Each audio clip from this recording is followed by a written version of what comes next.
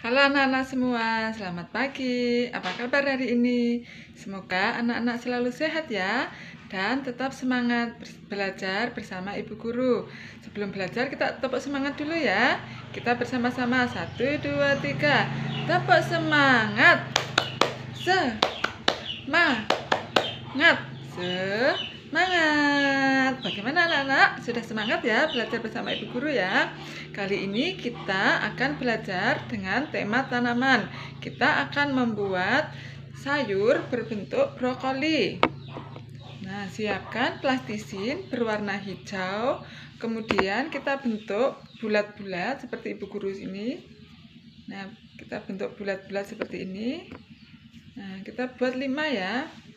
Kita buat bulatan ini lima, kemudian kita pipihkan. Nah, seperti ini hasilnya akan seperti ini anak-anak.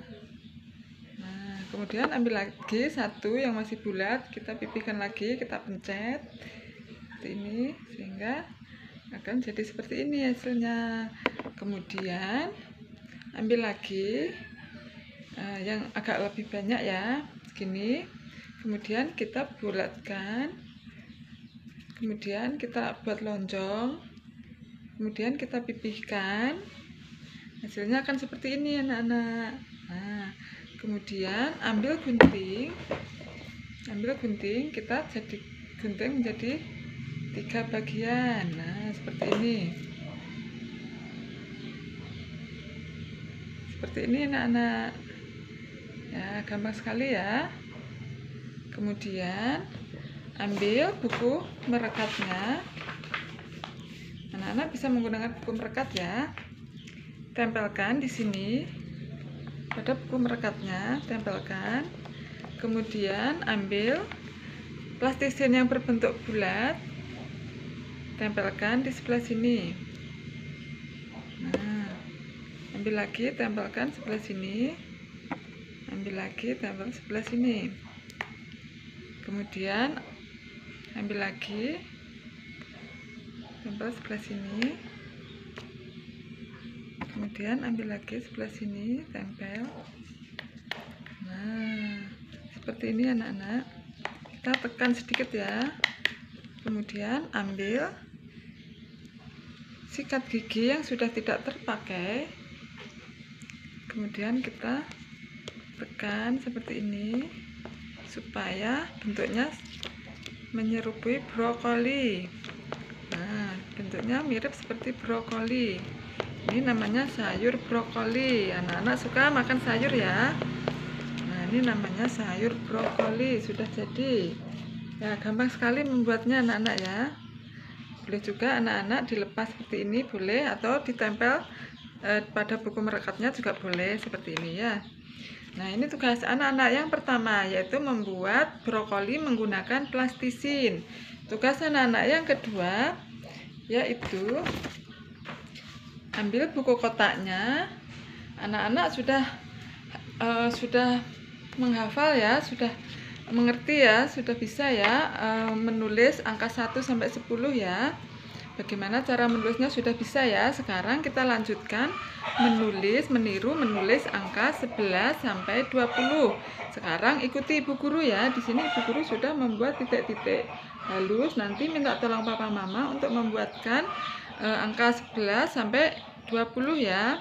Kemudian tugas anak-anak yaitu menebalkan. Sekarang ikuti ibu guru dulu. Uh, 11 seperti ini cara membuatnya. 11 ikuti ya. Kemudian 12 13 14 anak-anak sambil diingat ya cara membuatnya seperti ini ya. 15 nah cara membuat limanya seperti ibu guru. Nah seperti ini. 15 kemudian 16 gampang sekali ya.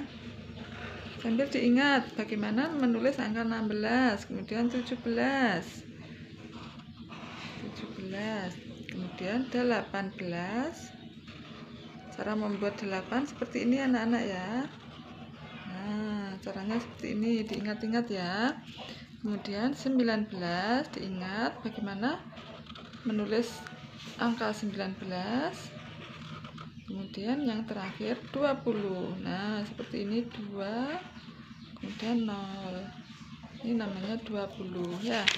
Diingat ya nah ini tugas anak-anak yaitu menebalkan angka 11 sampai 20 kemudian tugas anak-anak yang ketiga yaitu uh, ambil buku atau kertas.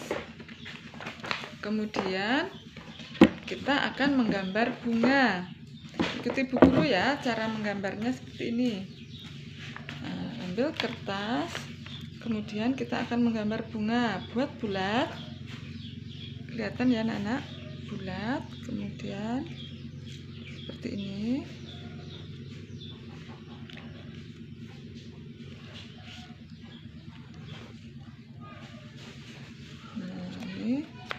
kita akan melakukan percobaan. Nah, sebelumnya kita warnai dulu ya.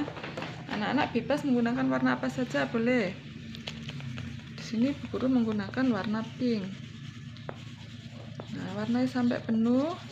Setelah bunganya diwarnai, kemudian digunting ya. Nah, di sini Bu Guru sudah mewarnai, kemudian sekarang kita gunting. Nah, ikuti polanya yang sudah dibuat tadi kita ikuti polanya kita gunting pelan-pelan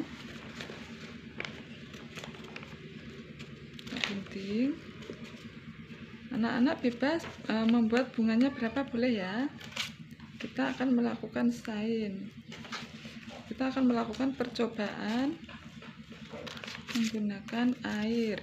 Nah, kita gunting dulu sampai selesai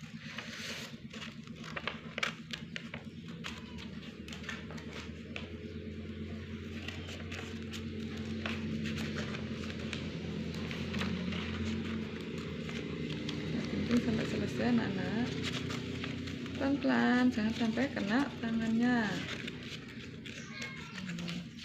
Setelah digunting setelah digunting kemudian kita lipat ya.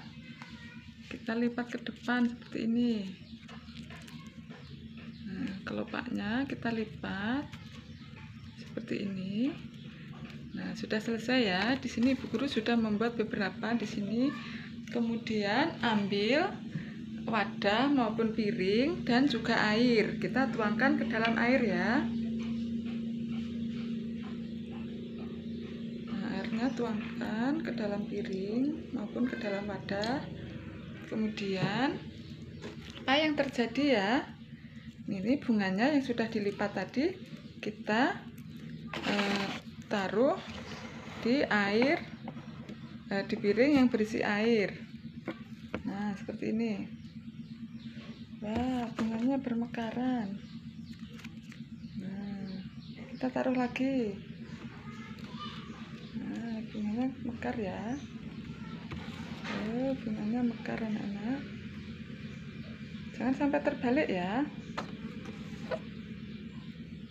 nah bunganya mekar sudah selesai ya. Kenapa e, bunganya bisa mekar ya? Karena kertas bersifat menyerap air. Sehingga setelah air mer, e, meresap ke kertas air e, kertasnya menjadi berat sehingga terbuka sehingga bunganya bisa mekar ya. Jadinya seperti ini anak-anak. Nah tugas anak-anak yang pertama tadi yaitu membuat brokoli menggunakan plastisin Kemudian tugas anak-anak yang kedua yaitu mengikuti menulis angka 11 sampai 16. Kemudian tugas anak-anak yang ketiga yaitu membuat percobaan bunga mekar di atas air. Baik anak-anak, selamat mengerjakan, selamat belajar di rumah.